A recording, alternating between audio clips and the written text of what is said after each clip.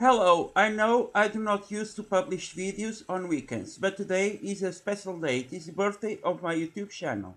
My channel was founded 9 years ago already, and I want to thank to all my fans and friends who helped me to make this possible, especially the ones who supported me from the beginning. Thanks to all of you. And now a special video.